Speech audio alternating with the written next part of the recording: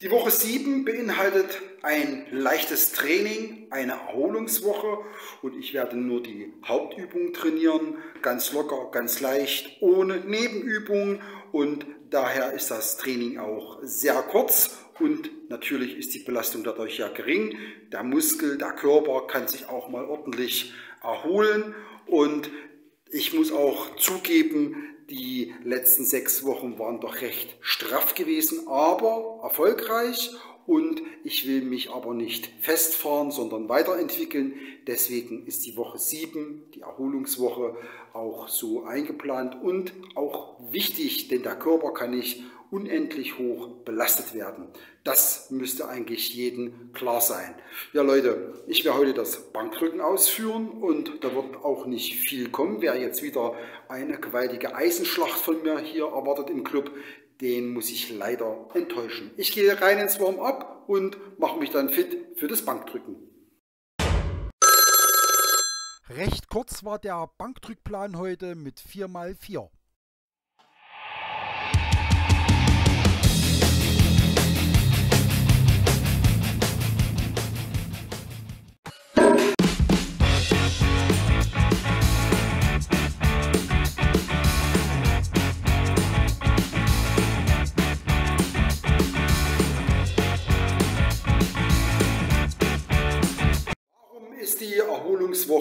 Wichtig? Das ist eine ganz einfache Sache.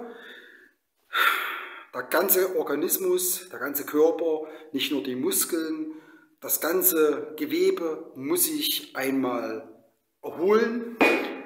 Es kann nicht fortwährend belastet werden. Ich weiß, das zentrale Nervensystem macht nur bis zu einem bestimmten Punkt mit.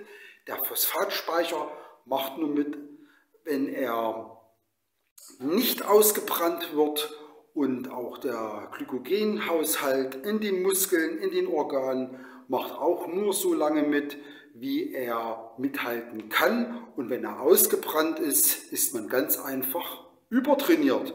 Und Übertraining ist das Schlimmste, was es für einen Athleten gibt. Ich war in meinen ganzen 30 Jahren, die ich Powerlifting gemacht habe, nicht ein einziges Mal übertrainiert. Für viele ein absolutes Unding, ich war es nicht. Ich habe mich immer an die Grundlagen gehalten. Hat auch funktioniert.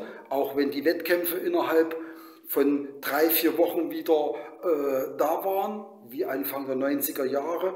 Da ist eben im Januar, im Februar und im März die erste, zweite und dritte Runde im Kraft-3-Kampf der Landesmannschaftsmeisterschaften ausgeführt worden. Und dann hat man wirklich immer nur zwei, drei Wochen dazwischen trainieren können, um bei dem nächsten Wettkampf wieder einigermaßen vernünftige Leistungen zu bringen. Heute sind die Abstände etwas anders, aber damals war das so.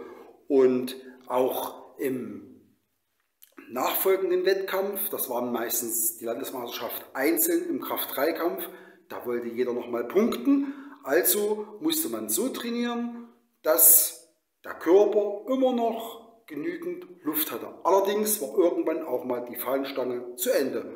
Und das war dann meistens im Mai und dann war dann Bankdrücken als Abschlusswettkampf und danach kam die Sommerpause und im Sommer wurde dann wieder ordentlich aufgebaut, wenn es dann wieder Ende des Sommers, Anfang Herbst in den nächsten Wettkampf reinging.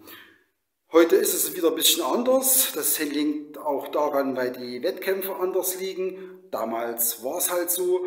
Und das Training, das System, den Ablauf habe ich auch bis heute so beibehalten. Natürlich gab es auch Unterbrechungen, wie damals mit der ganzen äh, Pandemiegeschichte 2020, wo alles geschlossen war. Da, da, da konnte keiner was dafür und dann war halt eine komplette Zwangspause da. Ja, oder wenn man krank war oder bei Verletzungen, die ich hatte, da war ich ja dann auch monatelang weg. Der Körper hat sich allerdings wieder an das Training gewöhnt und mit dem herkömmlichen System bin ich immer wieder eine gute Schiene gefahren und wer mich all die Jahre und Monate verfolgt, der weiß, wie ich an die Sache rangehe und was immer zum Schluss rauskam, immer ein akzeptables Ergebnis.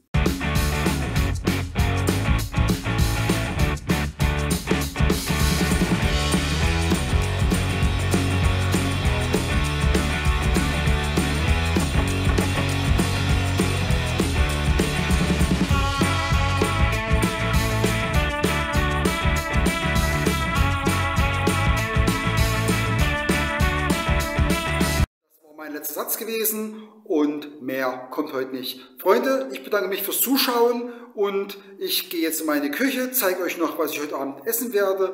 Morgen sehen wir uns zur Kniebeuge und da wird genauso wenig gemacht wie heute. In diesem Sinne, macht's gut, euer Uwe.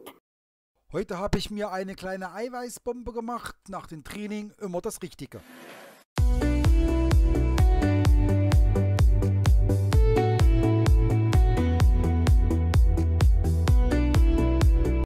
Vorbereitung fürs Abendessen fing schon gut an.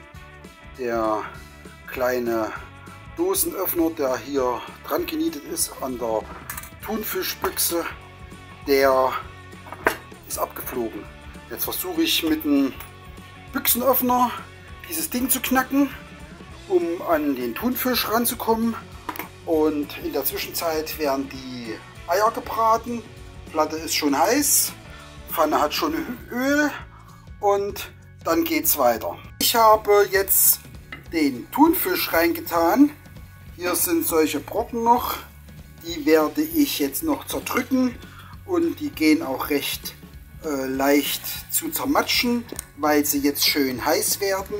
Und das wird jetzt alles noch mal 10 Minuten durchgebraten und dann kommt es auf den Teller. Dazu werde ich ein paar Scheiben gerösteten Landbrot essen und darauf schmiere ich mir Frischkäse mit vielen leckeren Kräutern.